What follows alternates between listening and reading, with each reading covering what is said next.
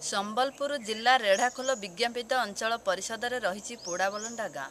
ପୋଡ଼ାବଲଣ୍ଡା ଏକ ସହରୀ ଗାଁ ହୋଇଥିଲେ ମଧ୍ୟ ଏପର୍ଯ୍ୟନ୍ତ ହୃଷିକେଶ ଦେହୁରୀଙ୍କ ସହିତ ଗାଁର କୋଡ଼ିଏଟି ଗରିବ ପରିବାରକୁ ବିଜୁଳି ପହଞ୍ଚି ପାରିନାହିଁ।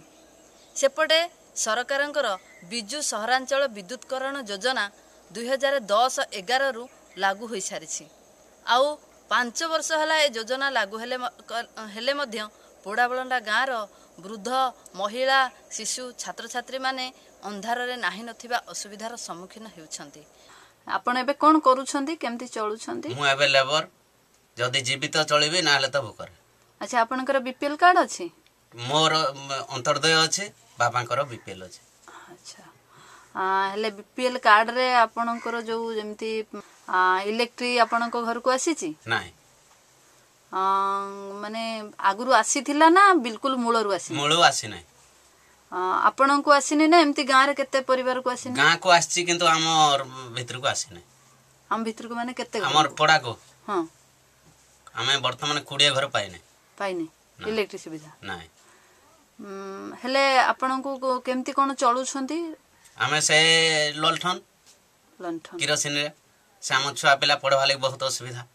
ବିଜୁ ସହରାଞ୍ଚଳ ବିଦ୍ୟୁତକରଣ ଯୋଜନା ବିଷୟରେ ମୁଁ ଜାଣିଥିଲେ ବି ମୋର ପଡ଼ୋଶୀ ଗାଁ ପୋଡ଼ାବଳଣ୍ଡାର କୋଡ଼ିଏଟି ଗରିବ ପରିବାରକୁ ଏପର୍ଯ୍ୟନ୍ତ ବିଜୁଳି ସଂଯୋଗ କରାଯାଇ ନାହିଁ। ତେଣୁ ମୁଁ ଏ ଭିଡ଼ିଓ ବନାଇଲି। କ'ଣ କରୁଛ ଏବେ? ପ୍ଲସ୍ ଥ୍ରୀ କରୁଛି। ଆଚ୍ଛା ତମ ଘରକୁ ଲାଇନ୍ ଆସିଛି ନା ନାହିଁ ନାଇଁ। ତମର ବିପିଏଲ୍ ଅଛି ନା ଆଇପିଏଲ୍ ନାହିଁ? ବି ପି ଏଲ୍ କାର୍ଡ଼ ଅଛି। ହେଲେ ତମକୁ କ'ଣ ଅସୁବିଧା ହେଉଛି ଲାଇନ୍ ନଥିବାରୁ? ଅସୁବିଧା ତ ବହୁତ ହେଉଛି ହେଲେ ପାଠ ପଢ଼ାରେ ପାଠ ପଢ଼ାରେ ଅସୁବିଧା ହେଉଛି। ଆଉ ରାତିରେ ଉଠିବାରେ ଯିବା ଆସିବାରେ ଅସ- ଅସୁବିଧା ହେଉଛି।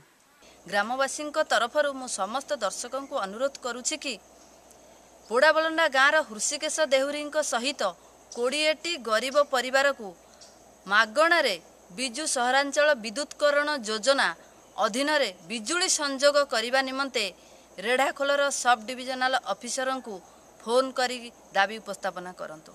ତାଙ୍କର ନାମ ହେଉଛି ଗୁରୁଚରଣ ସାହୁ।